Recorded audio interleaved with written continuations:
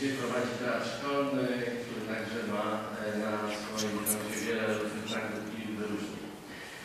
E, Proszę Państwa, towarzyszyć im będzie pan dr Piotr Gmoniuk, e, pianista, kompozytor,